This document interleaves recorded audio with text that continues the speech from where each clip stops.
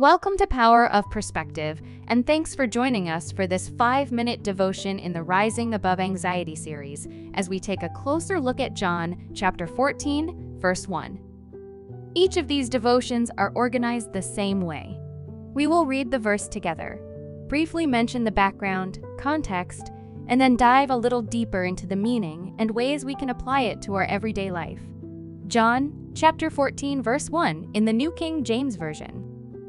Let not your heart be troubled. You believe in God, believe also in me. Let's take just a minute to reflect quietly on this verse and prayerfully consider the words.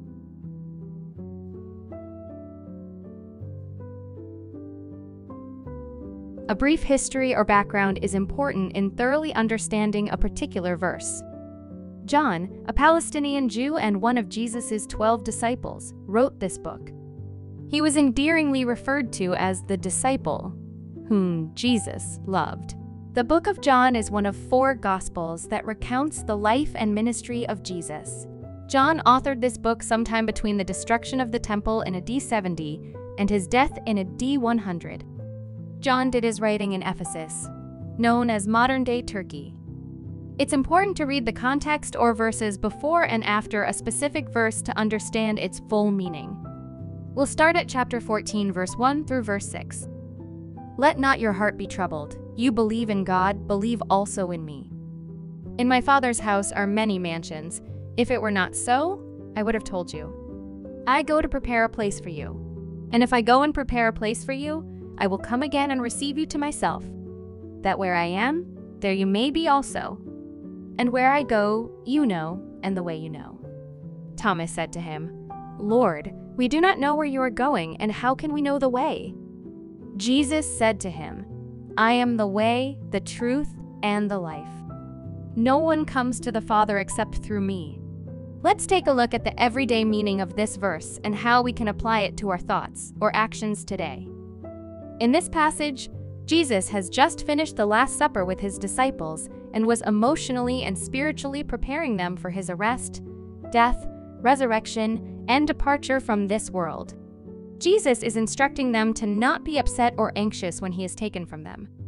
He goes on to explain that the foundation for their peace should be in remembering who he is and their trust and faith in him. Then Jesus paints a beautiful picture of the heavenly homes he will make for them in heaven. A home is built for someone to live in, and that reassurance is what Jesus is pressing into his disciples. He is encouraging them to keep their eyes on eternity and not the temporary trials they will go through.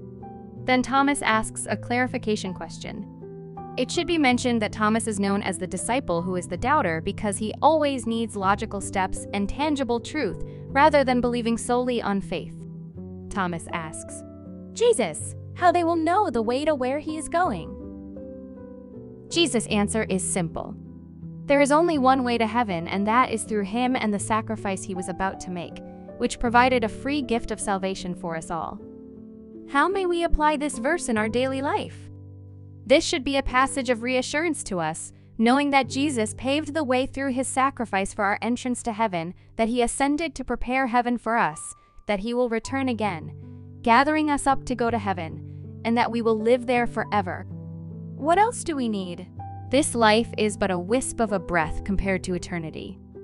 The temporary struggles, trials, and pains we experience day to day do not even compare to the joy and peace we will endlessly experience in the presence of our Heavenly Father.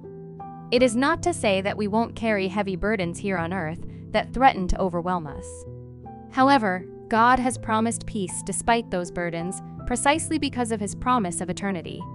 Keeping our minds, hearts, and eyes continually on God and all his promises is essential to accessing the promised peace. Thanks for joining us in our five minute devotion. It is our goal to build God's online community, and we believe that we learn best from God and within the interactive fellowship with others. We truly value any comments, questions, and we also encourage any prayer requests. We check the comments regularly.